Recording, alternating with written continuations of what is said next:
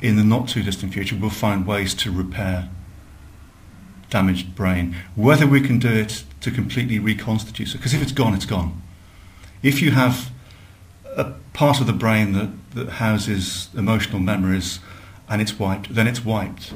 You can you may be able to kind of regenerate the neurons and they'll connect up again, but it won't be the same connection. Yeah. So it may be that you know some things are lost and they're lost forever. I mean, that would be amazing. You could, you know, show a brain damaged person a portfolio of personalities, and they could, you know, they could choose, and then the surgeons would get to work and wire things up in the appropriate fashion.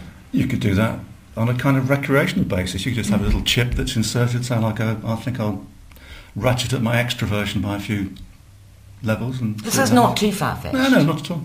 Not really.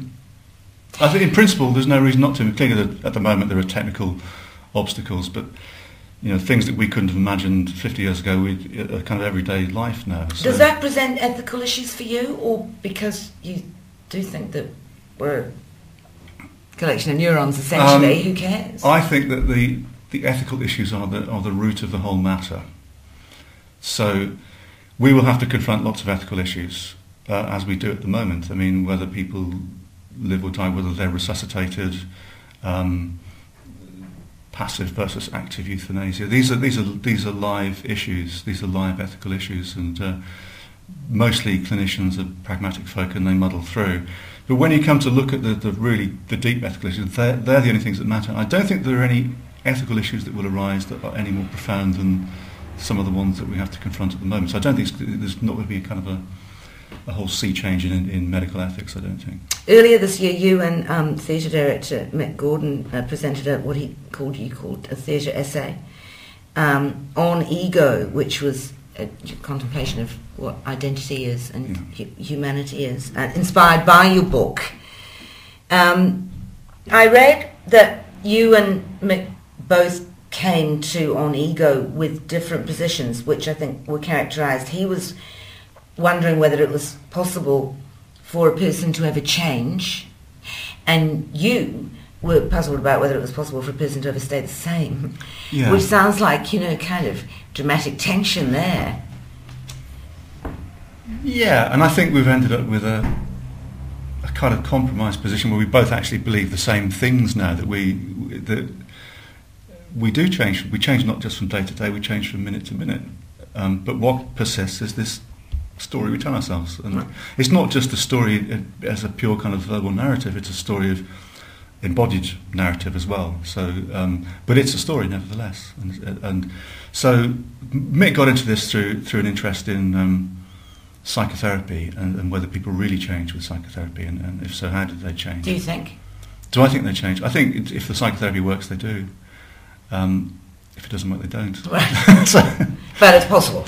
um, yeah Not think, just, well, what, to change what? To change the story? um, to change the you change various things you might want to just change certain predispositions so if, if you're agoraphobic and you're afraid to go to the supermarket we, you know, we can change that fairly you know, it's a fairly kind of mechanical process to change that. And if you go through the certain steps of the therapy, then chances are you'll feel a lot better than you did. So you can you can change people in, in that sort of way. Whether um, if you look at it, if you people, somebody in the audience today said, uh, yeah, but what about the real deep changes? What are, how can you get really deep down and change people deep down? And the, the answer is, well, what is deep down? Yeah. Where do you end up at? And, and you know, what Did they elaborate on what they thought a deep change would be? Not really. Because when you push people back on those sort of questions, it's very hard for them to hold a grip onto the idea they thought they had, I think. If you couch it in these ego versus bundle terms, I mean, other people might come in and say, well, you know, I take a, a Freudian or a Jungian psychodynamic approach, and uh, of course there's a sense of self, and this is what it is, this is the ego. And, but if you, if, you, if you couch the argument in these terms, ego versus bundle, then it's actually very, very hard to defend the ego position.